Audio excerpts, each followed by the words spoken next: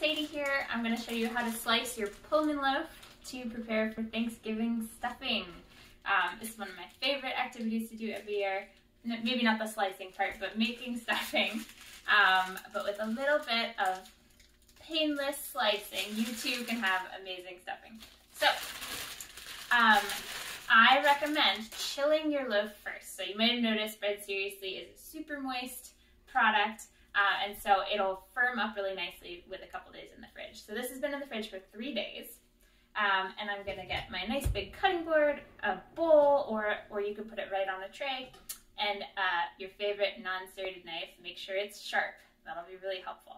If you absolutely have to, you can use a bread knife because it doesn't really matter for stuffing whether you get um, like crumbly bits because sometimes a serrated knife can be a little rough on our loaves. So I like to cut um, nice thick slices for stuffing, about a half an inch or so. Uh, you can even go thicker. You could do one inch slices. It depends on the final um, texture of the stuffing that you want. I like a nice crispy stuffing, um, so thicker is better. And I'll just cut a couple of slices, stack them up on the board, and cut them into about nine pieces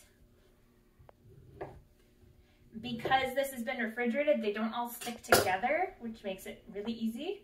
And then we've got beautiful cubes. Um, don't worry if your cubes are not super uniform. You can also get your kids to help with this because um, all shapes and sizes will work out deliciously for your stuffing.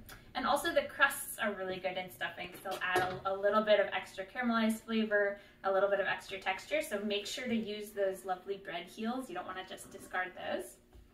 And there you have it. So you can do this in advance and you can freeze these or you can keep them in the fridge until you're ready.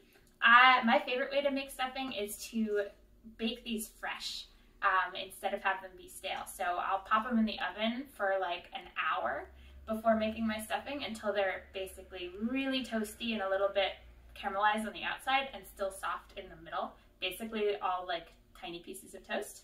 So I'll just spread them out on a sheet pan like this, bake them maybe at 375 or 400 depending on how hot your oven runs.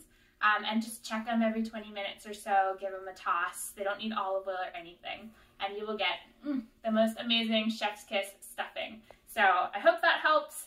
Uh, happy Thanksgiving, everybody, and stay safe.